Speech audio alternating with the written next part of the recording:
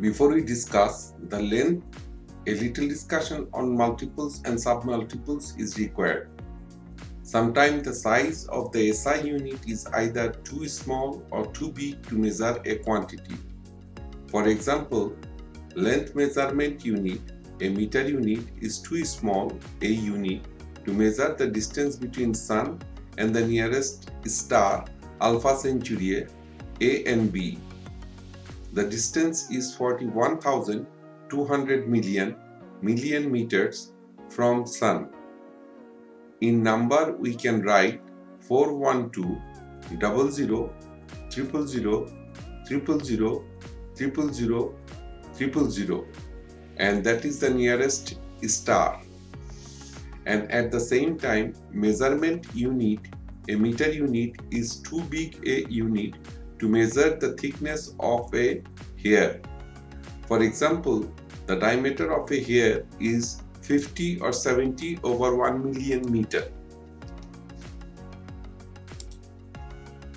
Hence, multiples and submultiples are required.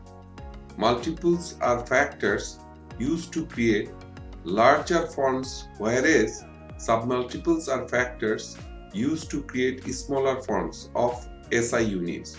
For example, a centimeter is a submultiple and a kilometer is a multiple of a meter. The SI multiples and submultiples have three elements involved. The first element is factor, the second element is name, and the third element is symbol. In the first part of this tutorial, we have explained the powers of 10 shorthand. Please check the link below for the first part of the tutorial. And here we see how the powers of 10 shorthand and oblique of standard notation is being used to define the multiples and the submultiples. Now we can say the distance between Sun and the Alpha Centauri A and B is 41,200 terameters or 41.2 terakilometers. On the other hand, in small value, we can say the diameter of a hair is 50 to 70 micrometer. Any further explanation of multiples and submultiples is beyond the scope of these tutorials. For any queries, send email to rhkstore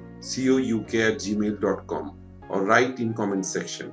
Please subscribe, give a thumbs up, do share and do not forget to press the bell icon.